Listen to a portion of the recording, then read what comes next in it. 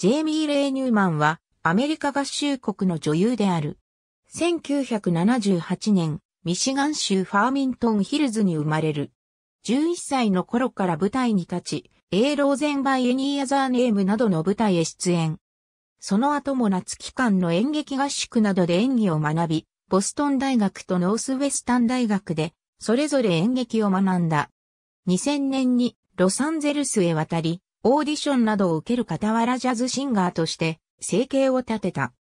2002年からレギュラーキャストとして加わったドラマシリーズジェネラルホスピタルあたりから徐々に女優として注目を集め始め、多くのテレビドラマや映画へ出演するようになる。同年には、スティーブン・スピルバーグ監督で、レオナルド・ディカプリオとトム・ハンクスが共演して話題を集めた映画、キャッチ・ミー・イーフ・ユー・キャンへも出演した。2018年、プロデューサーとして制作した短編映画、スキンでアカデミー短編映画賞を受賞した。